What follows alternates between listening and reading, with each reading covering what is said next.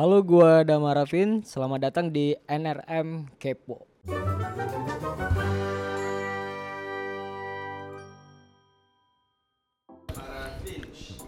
Yaps. coba perkenalin diri dulu dong penonton lo itu siapa sih? Jadi sebenarnya itu nama gua Doni Damara. Tahu Doni Damara kan? Yang artis senior. Kalau gua juniornya. Cie, kalau orang bilang gitu ya.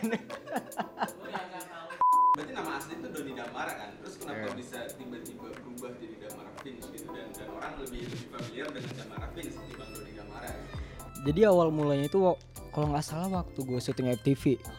Terus gue pas sebelum datang tuh orang wardrobe makeupnya nanya, ini kok lawan mainnya Om Doni Damara? Kayaknya nggak cocok deh gitu-gitu kan. Terus langsung di cancel, langsung nelpon manajer gue men. Dia langsung nelpon manajer gue. Eh bukan itu Doni Damara tuh eh, itu nama aslinya Doni Damara cuma tapi nama itunya bukan Doni Damara, nah Damara Vince. Oh gitu. Jadi sampai akhirnya tuh telepon manajer gue semua segala macam. Sampai akhirnya gue datang, lah anak kecil ternyata digituin anjir. awalnya, orang linglung nggak tuh ini kok Doni Damara kok persis kayak yang ini jangan-jangan yang ini nih kok case-nya ada dua gitu pernah pernah ada bingung kayak gitu nggak? Oh itu waktu gue syuting di Lima Menara itu sama juga masalahnya dari, wardrobe-nya kan. Ini bingung nih ini Doni Damara nih yang ini ukuran celananya M eh apa tuh bajunya M ini kan. Kalau ini kok beda kok beda ya gitu kan. Ini siapa nih Doni Damara gitu? Sampai akhirnya cari tahu cari tahu udah. Oh ini ternyata udah makanya itu nama gue diganti sama manajer gue jadi Damara Vince gitu. Jadi pas kalau misalnya ada detail sininya kreditnya jadi Doni Damara bla bla segala macam eh, sedangkan gue Damara Vince sebagai sekian sekian sekian gitu. Dari mana coba? Kenapa kayak nama klub Bali anjir? Bukan beda pak. Beda itu Vince man. Vince Club bukan. Ini V Fanta I N C H beda. Jadi Vince itu Itu sebenarnya dari Prancis Bahasanya. Jadi artinya itu Dia nggak gampang puas dengan sesuatu hal gitu loh. Harus mencari mencari dan mencari lagi gitu loh. Misalnya lu nggak di dunia entertain nih, kira-kira lu bakal ngapain? Kalau misalnya gua nggak di entertain Gue tuh dulu cita-citanya pengen jadi polisi Jadi paman gue tuh dulu polisi kan. Dia pengen banget anak cowoknya jadi polisi. Cuman anak cowoknya tuh pada nggak mau. Jadi akhirnya tuh pamannya tuh nyuruh ibu gue buat gue tuh supaya jadi polisi. Sampai akhirnya gue dididik sama dia kan. Dididik sama dia.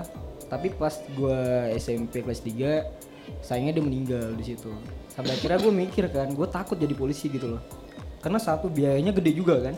Kalau misalnya ada paman gue pasti gue bisa dimasukin langsung masuk gitu loh kan karena itu sih gue mikir kan kayaknya wah gak bisa nih jadi polisi gitu. Sedangkan dari keluarga gue dari keluarga nggak mampu gitu kan apa adanya. Karena gue dari broken home jadi gue nggak mau hidup gue diatur sama orang tua gue semenjak itu. Jadi gue mikir semenjak itu kayak gue itu harus hidup sendiri. Gue harus punya cita-cita sendiri. Gue harus ngapa-ngapain sendiri. Mau makan harus cari uang sendiri gitu loh. Karena gue ngerasa kayak dari beban ibu gue kasihan dengan ayah ketahuan ayah gue selingkuh jadi ya bisa gitu segala macam gitu loh. Jadi di saat itu gue pengen apa ya kayak gue eh, hidup harus mandiri gitu loh semenjak itu. Jadi semenjak itu udah gue sampai di Jakarta gue hidup sendiri. Gue makan kadang nggak makan orang nggak ada yang tahu gitu loh. Gue sakit atau apa orang nggak tahu. Yang tahu gue sendiri even orang tua ya jadi gue maunya orang tua gue tuh tahu gue tuh lagi senang aja gitu loh. Biar nggak bebanin mereka itu aja sih. Pas umur berapa lu nggak nggak nggak ikut bareng sama orang? Nggak mungkin dong, lu misalnya satu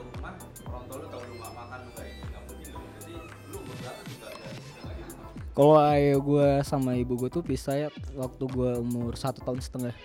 Itu mereka udah pisah. Jadi gue hidup sama nenek gue sampai akhirnya gue dibawa sama paman gue dan di saat itu gue dididik lah sama paman gue kan. Karena gue pengen jadi polisi. Dia nyuruh gue jadi polisi. Sampai akhirnya paman gue meninggal. Gue nggak tahu lagi mau tinggal sama siapa. Ibu gue pergi-pergi gitu loh. Sedangkan ayah gue nikah lagi gitu kan. Sedangkan gue kan lima bersaudara tuh. Gue cowok sendiri. Nah yang dua itu udah nikah dua udah nikah yang satu lagi tinggal sama ibu gua di bawah ibu gua. Yang satu lagi nomor empat tinggal sama ayah gua. Paling kecil ayah gua nggak mau bawa gua gara-gara ibu ibu tiri gua tuh nggak suka sama anak cowok katanya. Itulah gua nggak tahu hidup gua mau gimana lagi kan sampai akhirnya gua numpang ke kakak gua nomor dua. Sampai gua gede SMA gua ditinggal di sana kayak jadi gua ngerasa kayak hidup itu bagi gua tuh beban ngerti gak sih?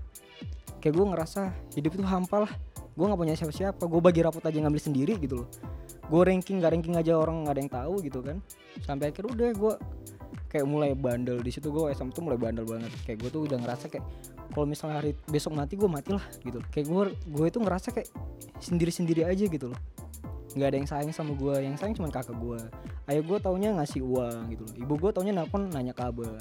Jadi gue ngerasa kayak itu tuh nggak adil sih. Sampai akhirnya gue mumut banget sama Medan itu. Kayak gue tuh berusaha berusaha gue sholat kayak mudah-mudahan gue bakal ke Jakarta gue bakal keluar kota. Gue pingin banget ke keluar kota lah gitu loh. Sampai akhirnya gue lagi ada momen waktu gue lagi sholat Jumat. Itu orang yang paling gue sayangin lah sampai sekarang ini. Dia yang bawa gue bisa sampai sekarang ini gitu loh. Jadi gue lagi sholat Jumat ya kan. Terus ini orang nih ngeliatin gue gue risih gitu kan. Ini cowok nih ngapain ngeliatin gue gitu kan. Dulu gue paling takut sama gitu-gituan kan. Polos banget lah dulu kan terus dia ngeliatin gue gitu kan. Gue kayak orang bego jadinya kan. Gue pulang sekolah langsung eh pulang dari sholat masjid dari masjid gue langsung cabut itu. Karena takut gue kan. Jumat kemudian ketemu lagi sama dia kan.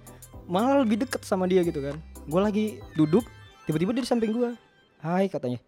Tambah risih gue kan. Ini ini siapa nih dalam hati gue gue gue gila gue baca istighfar. Gue pakai baca sholawat men. Saking takutnya gitu loh sumpah gue baca sholawat gue iya gue takut gue diperkosa gitu kan. Ini cowok nih ngerti. Ih. Wah gue gue dulu takut banget sama orang kayak gituan. Sumpah takut banget gue udah sampai akhirnya minggu ketiganya lagi ada dia lagi kan. Terus dia nanya namanya siapa? kata gitu kan. Gue diem. Dia kenapa nanya nama gue gitu kan. Ini siapa? Gue wah gila gue merinding banget men. Sampai akhirnya gue bilang Doni Damara kak gitu kan. Oh Doni Damara. Oh dulu nggak manggil kakak abang kan. Soalnya Medan kan ya Doni Damara bang gitu kan. Oh Doni Damara oh iya iya iya. Langsung pergi gue cabut ya kan. Hari Sabtunya besok ya dia ngechat gue melalui Facebook. Dulu kan masih zamannya Facebook kan Instagram belum ada dulu. Dia ngechat gue dari Facebook. E, dek kamu mau nggak masuk eh, apa namanya agensi kakak? katanya. Agensi apa nih kak? gitu kan. Awal mulai gue iya. Agensi apa kak? gue tanya kan. Iya agensi model katanya. Kalau kamu mau kamu bisa datang ke tempat kakak malam ini makin takut dong gue mau ngapain dia kan gitu loh. Iya malam-malam lagi. Terus gue bilang sama kakak gue kan kak ini ada agensi model ngajakin ini. Doni ambil nggak? Ambil aja deh nggak apa-apa dulu gitu kan. Ambil aja nggak apa-apa mana tahu rezeki kamu kan di model gitu kan.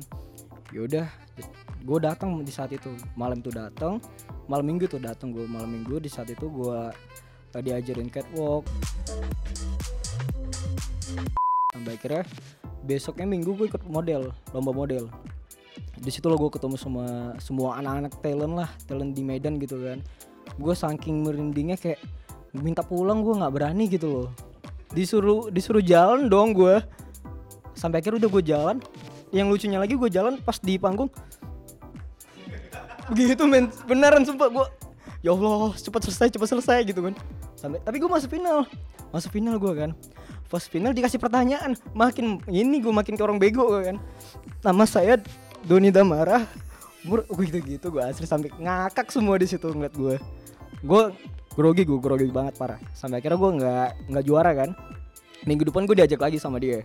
Diajak lagi lomba model. Di situ gue mikir kan ya udahlah mau dulu gitu doang kan. Gue beraniin diri tuh. Ya udahlah nggak apa-apa Bismillah. Mudah-mudahan pas finalnya nggak dikasih pertanyaan gitu kan.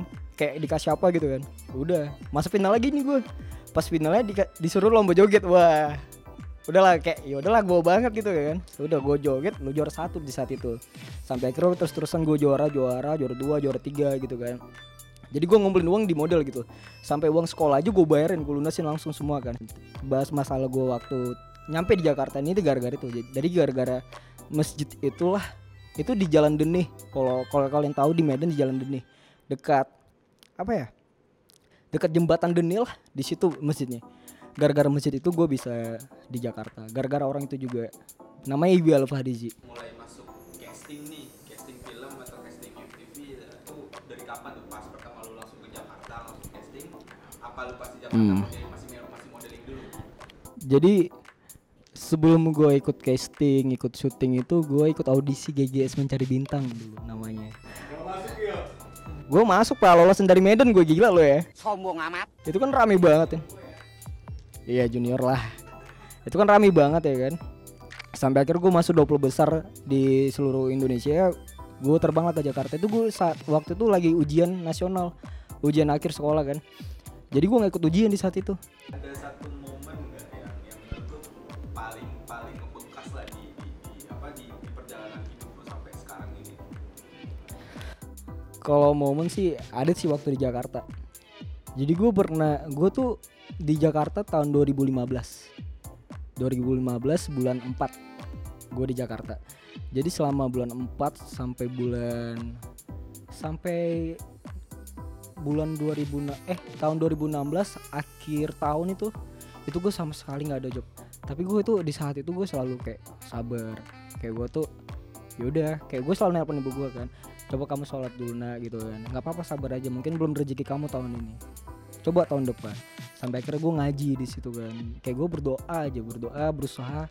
Kayak gue mikir gini ya dia bisa kenapa gue nggak bisa gitu loh. Pasti ada yang harus gue ubah gitu kan. Dari apa? Dari cara berbicara gue dari cara karakter gue semuanya gue ubah di situ. Dari cara penampilan gue dulu kan gue Medan ya pakai kaos yang ngepres ngepres ya kan. Dulu kan gitu ya kan pakai celana ketat ketat ya kan dulu gitu men. Sampai sekarang gue ubah di situ. Itulah ada ada satu gue gue manggilnya guru sih. Menurut gue itu guru gue banget. Namanya Mates Mucus itu Om Mates Mucus. Dia bilang sama gue dia tahu nih gue nggak bakal juara waktu GGS mencari bintang. Dia tahu. Dia bilang sama gue eh Don lo kan dari Medan Don. Nggak apa-apa. Lu harus ada yang lo ubah di dalam diri lo. Gue yakin lo pasti bakal bisa syuting kayak gue katanya gitu ntar insya Allah kita bisa syuting bareng. Tenang aja nggak usah takut katanya. Dia bilang sama gue ada satu kata yang bilang sama gue eh itu semua itu harus dicoba. Kalau misalnya lu nggak coba lu nggak nggak akan tahu hasilnya itu apa gitu loh. Dan satu lagi dia bisa kenapa gue nggak? Gitu loh. Itu sih. Pencapaian lu yang sekarang ini udah sesuai keinginan lu belum sih? Karena lu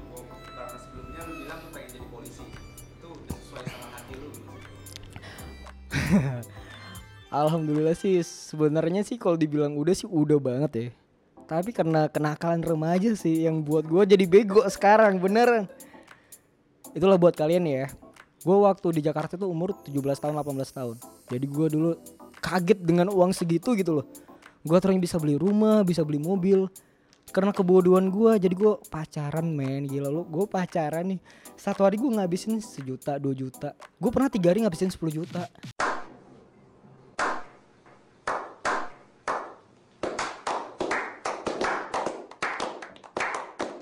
Sumpah men gue Wah gila. Gue tuh kayak orang bego sampai kakak gue marah-marah Ibu gue marah-marah kan. Cuman ibu gue mikir gini kan ya udahlah biarin aja lah. Ibu gue mikir gitu. Kayak ayah gue kan ya udahlah biarin aja lah. Uang uang dia juga gitu kan. Ntar dia juga nyesel Sampai akhirnya gue nyesel sendiri men. Kayak gue sekarang tuh Gue tuh mulai dari tahun kemarin tuh Eh enggak enggak. Eh, Tahun Tahun ini tahun 2018 Bulan akhir tuh Gue tuh mulai dari nol lagi. Eh enggak tahun 2019 bulan pertengahan Ya 2019 ini. Ya gue riset lagi semuanya. Gue gue pacar gue punya pacar sekarang. Tapi gue punya pacar ya gue nggak mau terlalu kayak bucin banget. Ya nggak mau kayak dulu. Gue paling pacaran juga ngabisin seratus ribu men. Dia yang bayarin ya kan? Dia jauh banget gue uang cuma lima ratus ribu kan? Ini buat seminggu kan? Waduh gue pas bayar ini bayar nonton kan? Gue pura-pura lama tuh oh dia kamu bayar? Eh, makasih ya. Atur, terus gue ngomong gini kan lah kenapa kamu bayar aturnya aku aja. Udah nggak apa-apa. Dalam hati "Eh, ini pacar gue bokep banget nih ya iya gitu men itu sih makanya gue mikir kan kayak pacaran tuh yang sewajarnya aja sekarang deh kayak buat apa sih lo main-main gitu loh? Umur lo semakin lama semakin tua gitu loh. Kayak pokoknya gini pokoknya lo bakal nyesal dah sendirinya. Itu aja. Soalnya gue ngalamin itu men. Sakit sumpah deh Lu masih inget gak nih project-project apa sih yang lu pernah lu pernah terlibat selama ini? Ah, jadi awal pertama kali syuting gue itu eh, sinetron. Gue sinetron selama setahun. Lo bayangin aja gue sinetron selama setahun. Itu sinetron pertama itu Pangeran 2 gue itu ada 50 episode dapatnya. Terus lanjut Jin dan Jin Reborn. Itu tanya dan TV kan. Kalau yang Pangeran 2 itu tanya di CTV Jin dan Jin Reborn. Itu gue cuma tiga episode. Soalnya gue mau lanjut buat film apa tuh sinetron baru lagi. Gue ngambil sinetron baru. Soalnya peran gue lebih bagus gitu kan. Gue syuting Roman Picisan di saat itu itu udah tiga ya kan Roman Picisan gue dapat hampir 60 episode Roman Picisan terus gue lanjut FTV FTV gue lanjut iklan terus dapat eh, sinetron lagi Fatih di Kampung Jawara. Nah di situ lo bayangin dari uang gue selama setahun itu tak ke mana gitu loh. Lo bayangin coba. Iya jadi gembel gue sekarang beneran. Untungnya gue pas syuting di Bali kenal namanya Evan Marvino. Iya iya. Web series waktu itu awal kenalnya Evan ini kayak tai men sumpah. Jadi gue lagi di lobby ya kan lagi makan ya kan di hotel ya kan sap. Evan baru ini turun dari mobil nih baru selesai syuting ya kan jam 9 pagi. Buang muka ngeliat gue anjing takut dipanggil. Gini buang muka. Gue mau manggil gini kan langsung buang muka langsung ah tai ini orang yang gocet lu bener aja gocet lu pan keluar pan gocet itu kan. Langsung keluar di saat itu dia keluar. Dalam hati dia anjing gue belum belum tidur belum ini gitu kan. Udah nyampe sampai akhirnya gue bertemanan sama dia. Orangnya baik banget sih gila. Nah, terus nih Dam, hmm. eh, lu kan udah lama nih berkecimpung lah di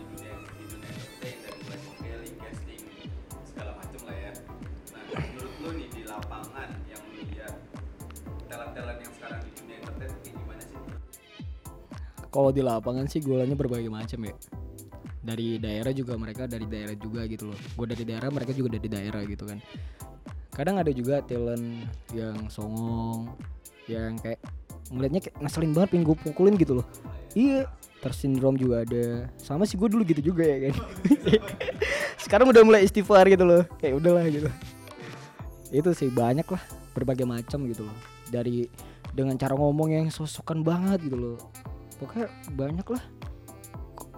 Kalau sekarang sih kalau sekarang udah agak lumayan ya karena gue mungkin ke, eh, syuting dengan orang-orang yang senior. Kalau sekarang ya. Malah gue lebih lebih seneng tuh acting dengan orang senior daripada orang sesama gue gitu loh. Kayak anak baru tapi dengan gayanya selengean. Jadi gue ngerasa kayak anjing lo kayak gitu waktu gue dulu men. Buat apa lo kayak gitu? Ngerti gak sih? Gitu loh. Kayak gitu sih. Kalau yang senior tuh lebih kayak ngasih gue arahan lebih ini. Jadi gue nyaman sih. Banyak pengalaman yang bisa gue ambil. Ada motivasi nggak sih untuk mereka yang yang mereka tuh sekarang satu profesi sama lu di entertain, tapi mereka tuh lagi di posisi bawah nih yang udah lu rasain kayak lu dulu. Nah, lu ada ada kata motivasi nggak atau pesan gitu buat mereka?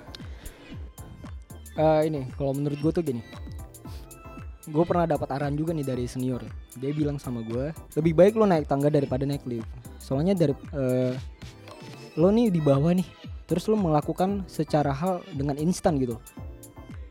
Kayak naik lift gitu kan. Buat apa? Terus jatuh juga lama-lama gitu lebih baik lo kayak gue perlahan perlahan perlahan. Gue main dari syuting sinetron FTV sampai sekarang alhamdulillah gue lagi pingin film web series. Jangan lupa nih gue sekalian promo boleh kali ya? Yoi. Ada tiga film gue nih yang bakal tayang. Di bulan 2 nanti ada Pretty Little Liars bareng Evan Marvino juga ya tapi tanggalnya belum tahu kapan. Di bulan 4 ada Serigala Langit.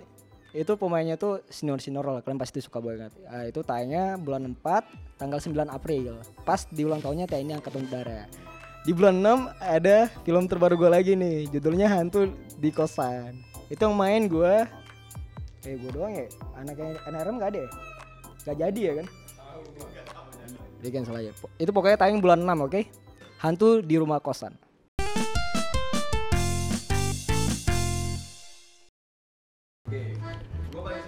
Cewek, cowok, main bola. Eh, main ski. Gue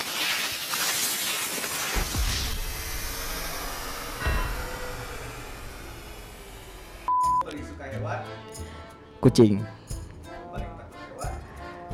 ular? Geli gue main ngeliat jalannya begitu main sumpah deh. Geli gue. Meanwhile, ular ya masih lucu lah. Bisa Disakitin sama perempuan. bisa marah kalau Eh, cewek gue selingkuh. kalau Kalau dideketin sama ke cowok.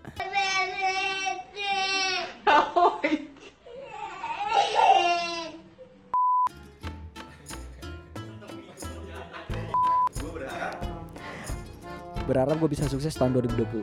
deskripsikan diri lo dalam satu kata. Crazy. Oke, itu semua udah kita tanyain semua. Thank you Damara udah datang ke NRM Kepo. Ya makasih juga buat NRM yang udah ngundang gue yang gak ada gunanya duduk di sini. Buat apa kalian undang saya? Dan jangan lupa nih like, subscribe, dan komen channel YouTube-nya NRM Media. Iya. Entertainment, NRM Entertainment. Dan jangan lupa juga nih, gue sama Evan juga punya YouTube channel namanya Virgo 46. Bye.